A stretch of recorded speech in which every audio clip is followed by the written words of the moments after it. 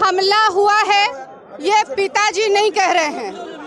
ये सड़क पर दिखाई दे रहा है, गाड़ियाँ किस तरह तोड़ी गई हैं, लोगों के सर से किस तरह खून बह रहा है, लोगों के पैर किस तरह टूटे हैं, इवन हमारे पिताजी को चोट किस तरह आई है।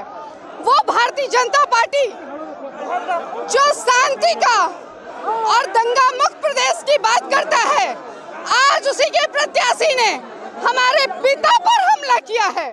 और आज मैं खुलेआम यहाँ पर आकर के कहती हूँ कि फाजिल नगर की जनता तीन मार्च को ऐसे हुड़दंगियों को सबक सिखाएगी और स्वामी प्रसाद मौर्य जी को भारी मतों से विजयी बना करके उनकी दबंगई को उनके घर में बंद करवाएगी।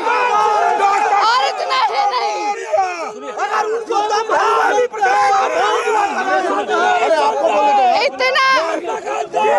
इतना ही नहीं।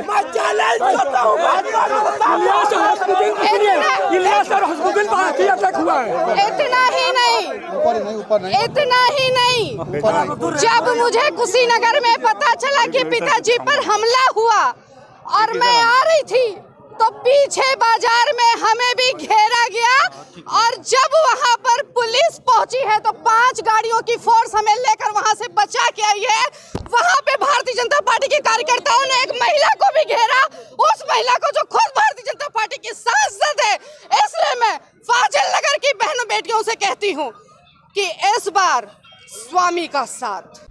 हमसे जुड़े रहने के लिए हमारे YouTube चैनल को सब्सक्राइब करें और नई वीडियो की नोटिफिकेशन के लिए बेल आइकॉन को दबाएँ।